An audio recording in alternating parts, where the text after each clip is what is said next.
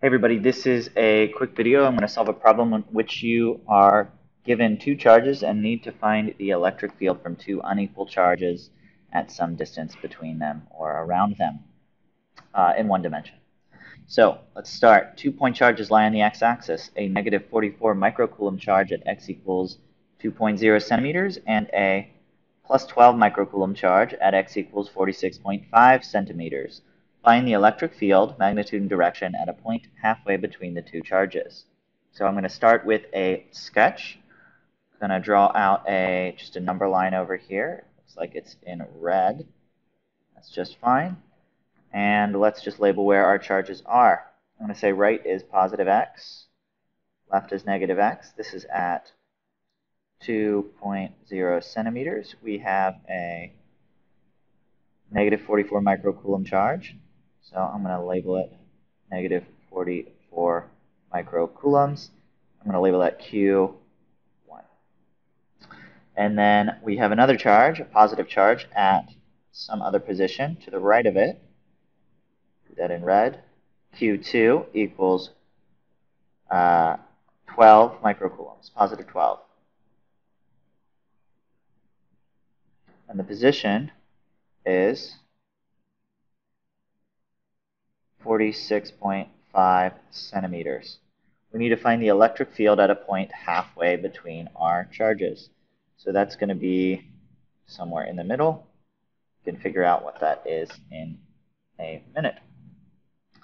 Um, so we know that electric field is a vector, and in this case, our we have uh, we have two point charges, each produce their own electric field. The equation for the electric field from a point charge, E equals K q over r squared, where uh, big Q is the charge producing the field, and r is the distance from that charge.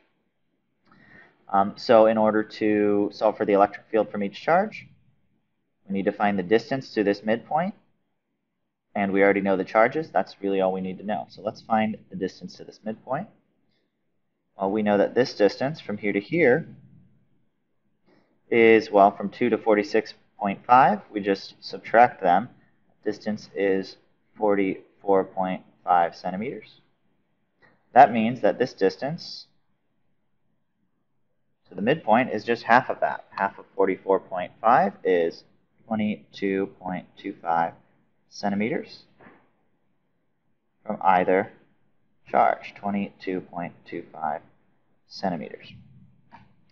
So we can now find the electric field from either charge. I'm going to start with Q1.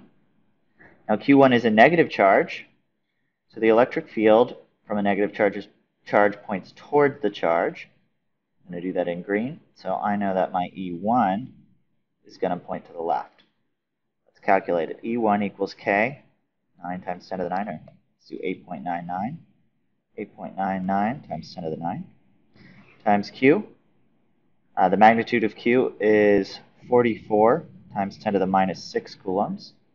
Over the distance squared, the distance is 22.25 centimeters, so 0.2225, that distance squared, to solve for the magnitude of E1.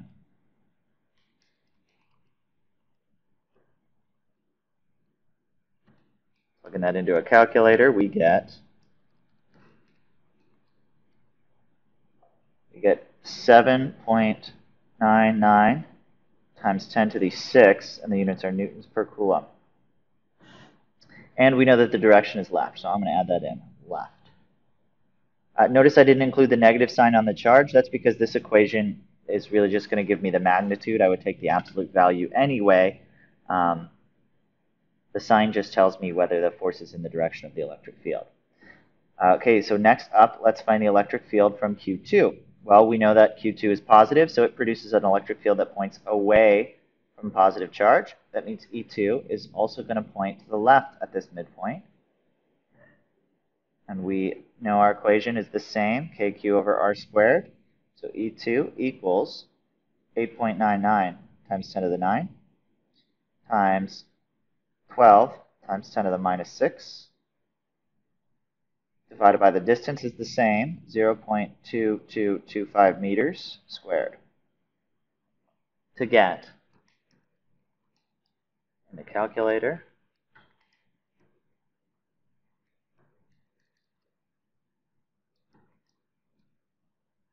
two point one eight times 10 to the 6 newtons per coulomb, and the direction is also left, as we see up here. Since they're in the same direction, we just add the magnitudes to find the net electric field. We know our net electric field is equal to the vector sum of all of the individual electric fields. So it's just going to be uh, 7.99 times 10 to the 6 plus 2.18 times 10 to the 6 equals